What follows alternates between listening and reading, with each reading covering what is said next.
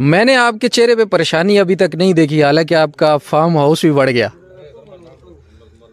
वो जो वड़ने पे तुम लोग लगे हुए थे ना तो ये वड़ना इसको कहते हैं। दिखाएँ जी फार्म हाउस जो है। वड़ना इसको कहते हैं। और सारे कम्बक टिकटाकर इसी पे लगे थे वड़ गया वड़ गया वो दो किलो का गोश्त क्या बड़ा होता है वड़ने